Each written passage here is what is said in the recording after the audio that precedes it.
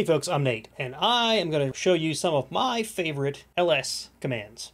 Alright, so what is ls but just a way of listing files within a directory? It doesn't show anything that's hidden, it doesn't show you anything about like when files are created or what their permissions are. Let's change that. If we do an ls-l, as in long listing, it'll show us more details.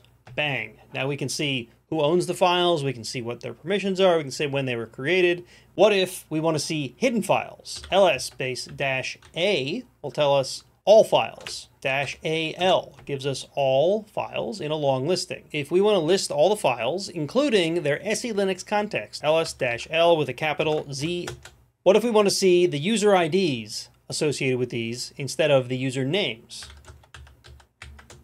ls-ln for numbers tells us the user ID number instead of the user ID's name. And there you go, some of my favorite ls commands.